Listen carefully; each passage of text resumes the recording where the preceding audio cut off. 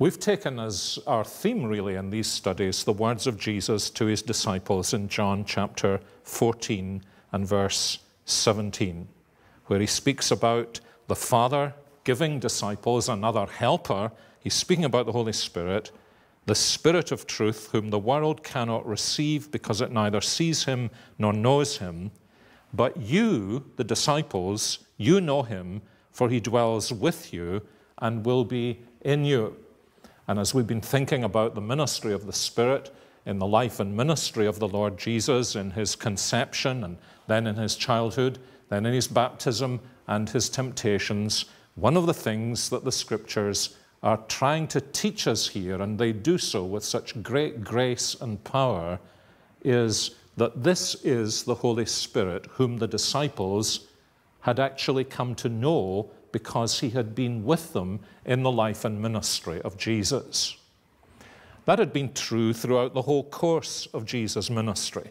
And I want in this study to look at several passages in the New Testament, first of all in the Gospel according to Luke, that underline for us that the Holy Spirit who came on Jesus to equip him for public ministry, for his messianic ministry at his baptism, was with him and empowered him throughout the whole course of his work. And that was immediately obvious when Jesus, after his baptism, Luke chapter 4 and verse 14, returned in the power of the Spirit to Galilee. A report went out about him through all the surrounding countryside. He taught in their synagogues and was glorified by all. It's actually a marvelous little description a kind of snapshot of the truth about the Lord Jesus. How, in the power of the Spirit, he reveals God, and how, through the ministry of the Spirit, we are encouraged indeed by the Spirit's power, enabled to glorify the Lord. We're told almost immediately afterwards what happens. Jesus goes and he preaches in the synagogue in Nazareth, chapter 4 and verse 16. And the scroll of the prophet Isaiah was given to him. He unrolls the scroll and found the place where it was written. Now, whether this was the reading in the lectionary or whether Jesus was uh, finding this place very deliberately himself, it was an amazing passage for him to expound at the beginning of his public ministry. And he was actually able to do it rather briefly and was forced to do it rather briefly. The words of Isaiah 61 The Spirit of the Lord is upon me. He has anointed me to proclaim good news to the poor, proclaim liberty to the captives, recovering of sight to the blind, liberty to those who are oppressed, to proclaim the year of the Lord's favor. He rolled up the scroll, gave it back to the attendant, sat down, and said, Today this scripture has been fulfilled in your hearing. And he preached what I sometimes call the uh, sermon that created the shortest first ministry in the history of the Christian church. They, they wanted to try and kill him because what he had said was all the way through the Old Testament scriptures until Isaiah was standing on the pinnacle of Old Testament revelation, looking forwards into the future we have been expecting the spirit filled Messiah and Savior to come. I am He. And it's fascinating, isn't it, to see that this passage in Isaiah that spoke about the empowerment of the Holy Spirit was the very passage that Jesus did actually fulfill during the course of his ministry in the power of the Spirit. It was through the power of the Spirit that he was enabled to release people from their bondage in sin.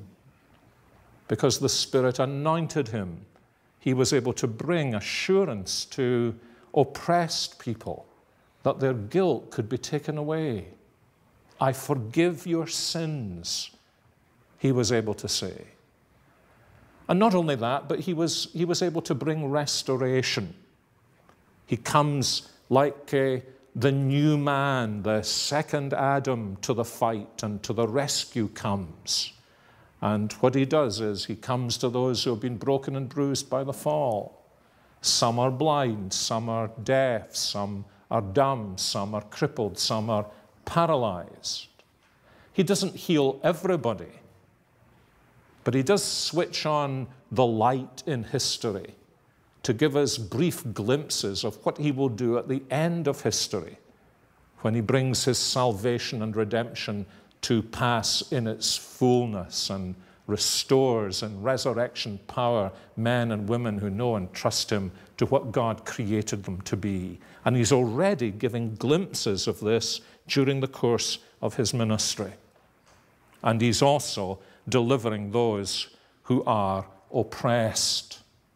And so the gospel narratives are punctuated with Jesus coming to those who are possessed by demons and setting them free from this satanic oppression that is the result of the bondage that Satan has created since the time of the fall. Now, I wonder if you've ever recognized the fact that there are really very few references to demons in the Bible. You know, Christians of a, of a certain kind who will say the Bible's, Bible's just full of demons and demon possession and exorcisms. There are actually very few of them in the Bible. The notable thing is this that most of them are found in one small land in the course of three years in the ministry of Jesus. Think about the Gadarene demoniac. Remember, his name was Legion because there was a legion, a Roman legion of demons in him. How many demons does it take to oppress a man, to drive a man to destruction? It takes only one. So, why was there an entire legion there? Because Jesus was there.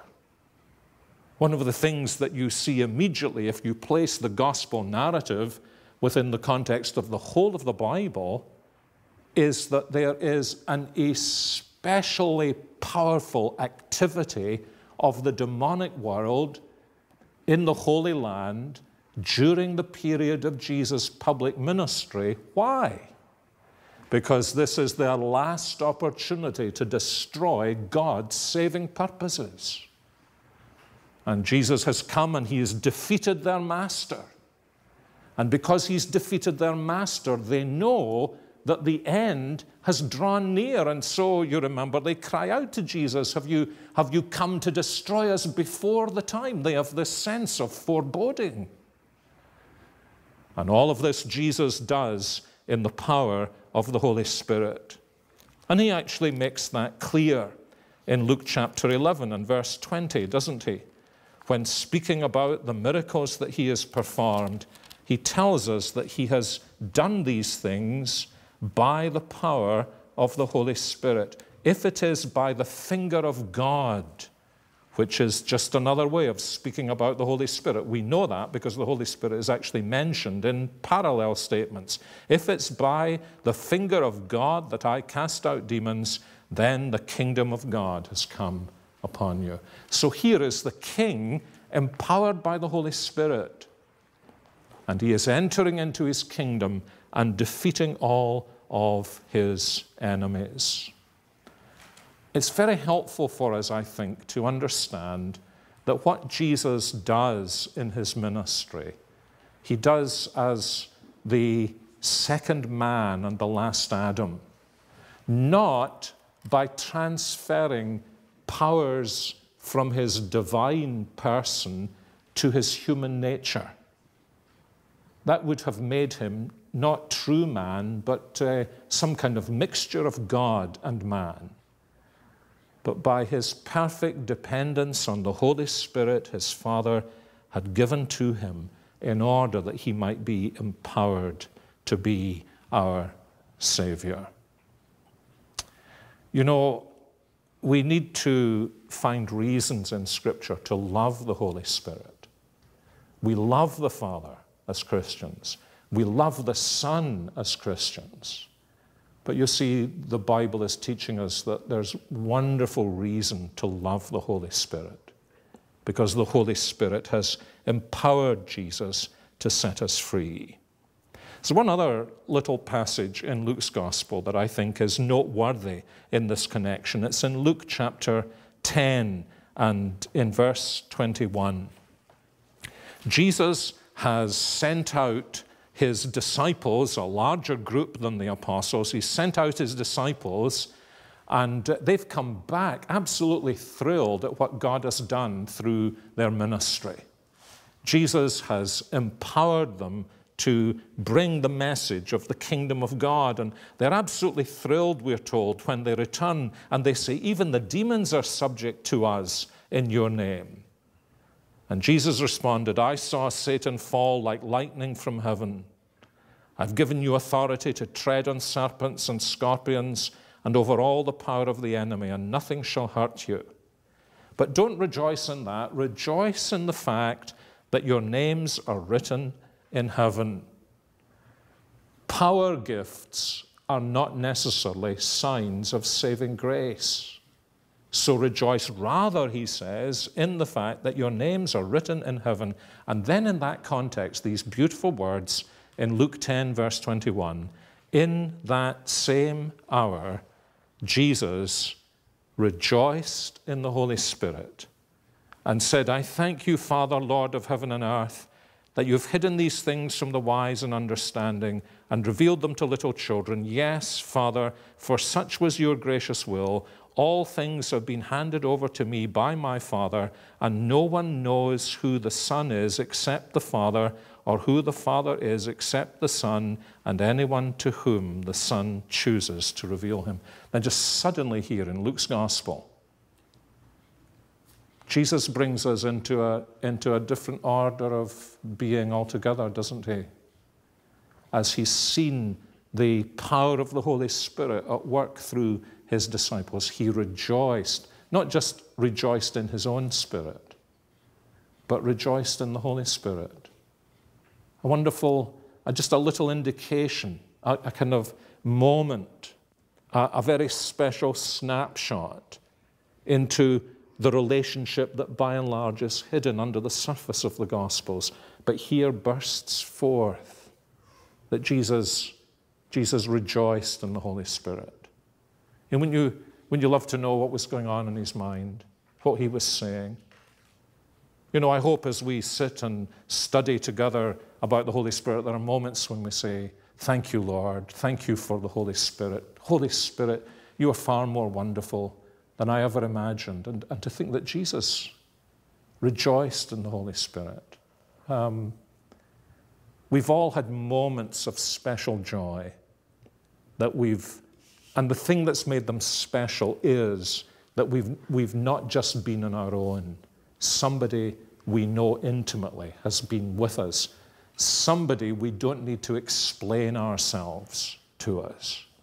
Um, you know what that's like? Um, you know, I'm not uh, a native American. And uh, sometimes when I go back to Scotland and see old friends, I say to them, you know, it's just, it's just great to be with somebody that you don't need to explain yourself to because we've known each other all our lives.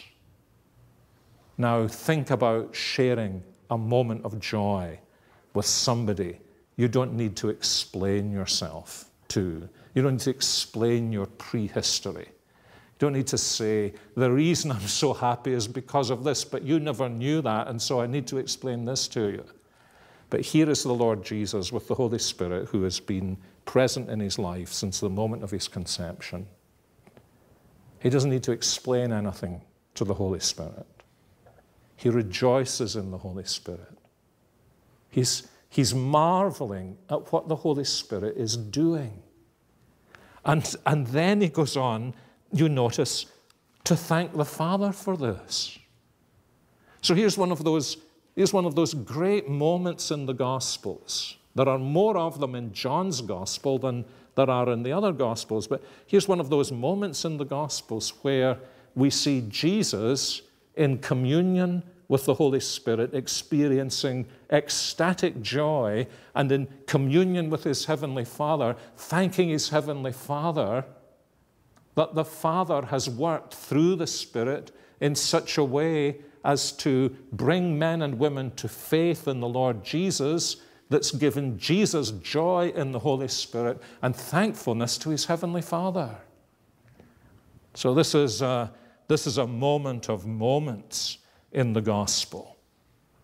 And this is why later on in Luke's gospel, in Luke chapter 12 and verse 10, Jesus will say that it's one thing to speak against the Son of Man. It's possible to speak against the Son of Man and be forgiven. That's a forgivable sin. But the one who blasphemes against the Holy Spirit will not be forgiven. What's he talking about? He's talking about that resistance to the ministry of the Holy Spirit that refuses to recognize that the power of the kingdom of God has been released in the Lord Jesus and refuses to yield to the Lord Jesus and to trust in the Lord Jesus. And the reason this sin cannot be forgiven is actually found in these earlier words when Jesus experiences joy because of what the Spirit is doing. Jesus thanks the Father for what the Spirit is doing. The Father is present with Jesus in what the Spirit is doing.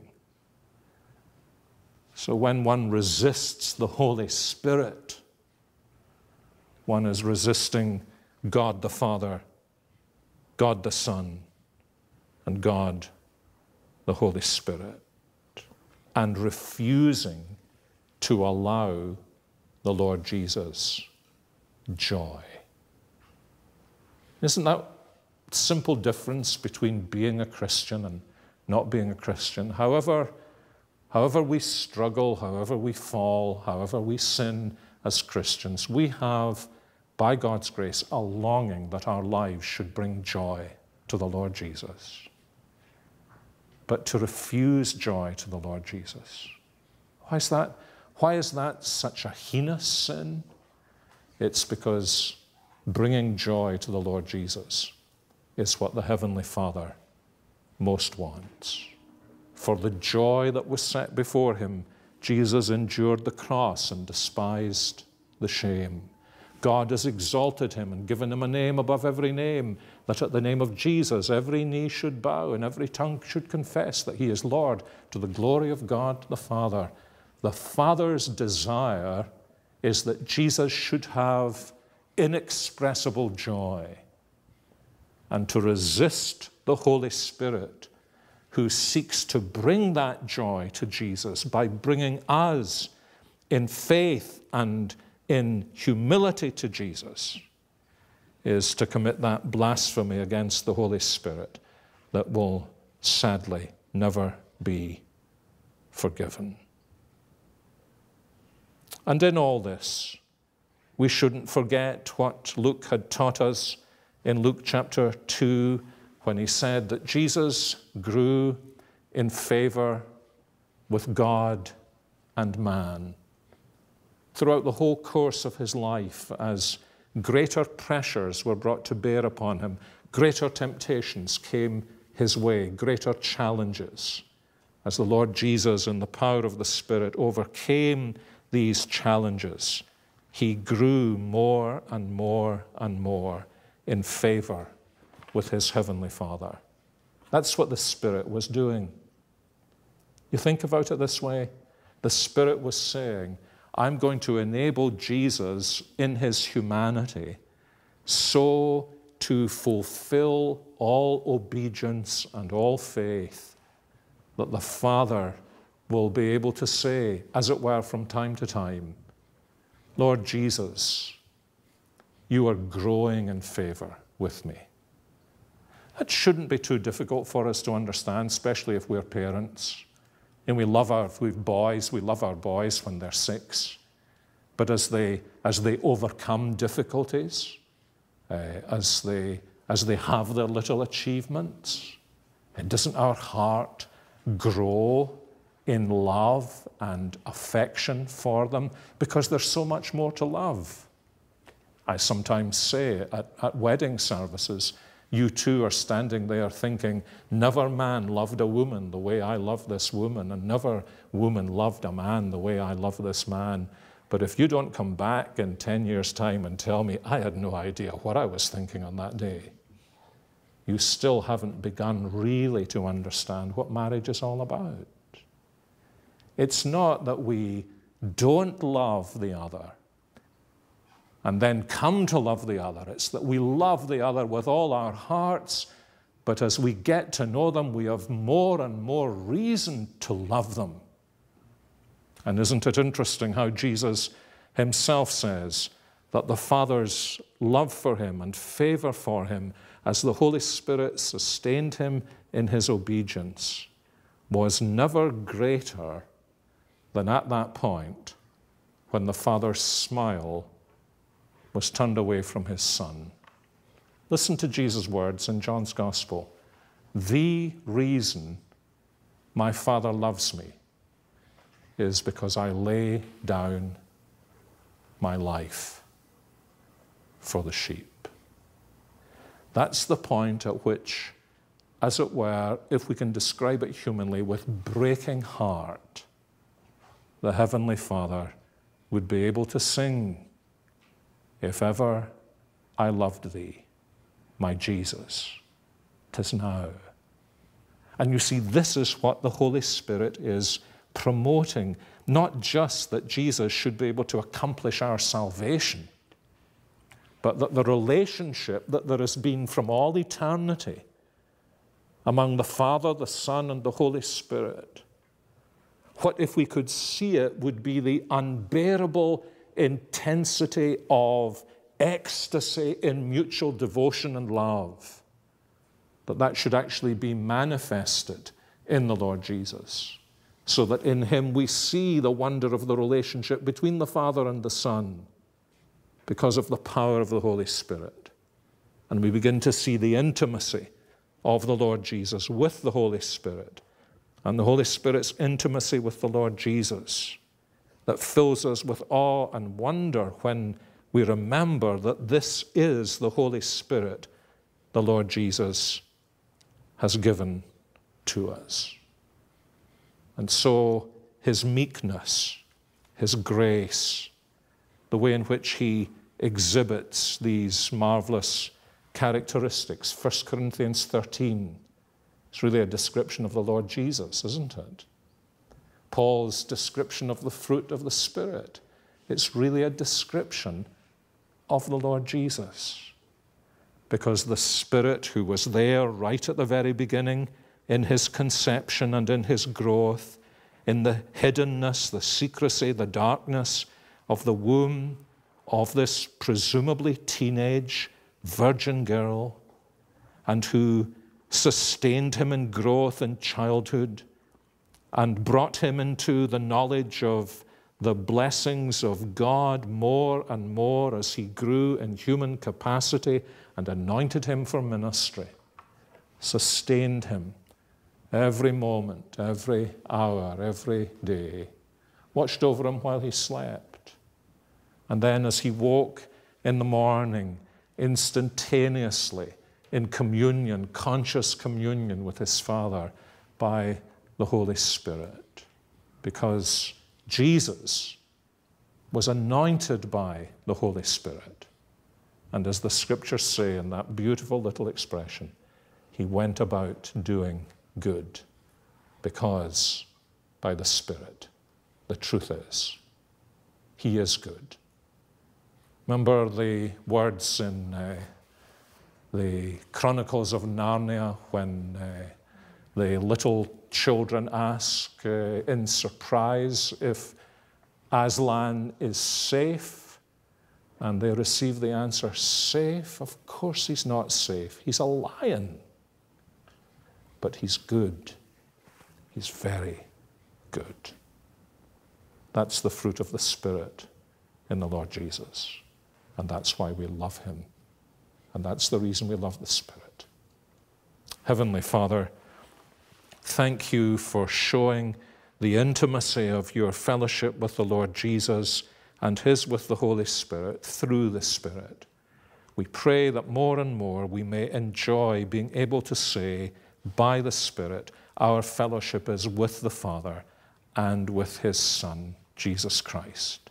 We praise you for this gift. In Jesus' name, amen.